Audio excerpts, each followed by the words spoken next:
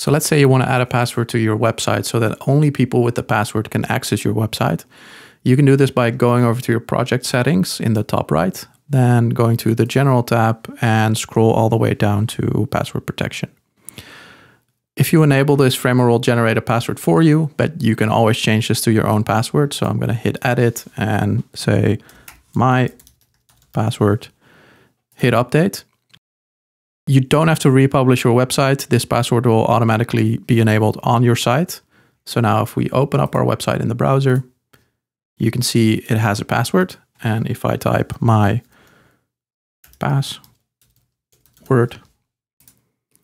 we have access to the website. Um, your browser will remember this password. So if you reload the site, you don't have to uh, um, enter the password again.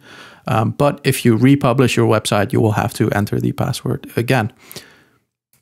If you want to disable the password, just disable the toggle, open your website again, and you'll notice that the website does not have a password anymore.